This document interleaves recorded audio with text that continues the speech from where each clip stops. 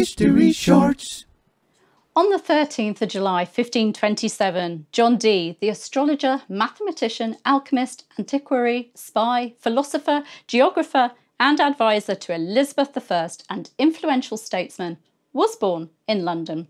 He had an incredible career, which included working under the patronage of the Earl of Pembroke, Duke of Northumberland, and the Grey family, tutoring Robert Dudley and Edward VI, drawing up an electional chart to determine the most auspicious date for Elizabeth I's coronation, undertaking secret missions for Elizabeth and Lord Burleigh, writing and presenting a mathematical and astronomical work to the Queen, being consulted by famous explorers and navigators, and working with Edward Kelly and communicating with angels.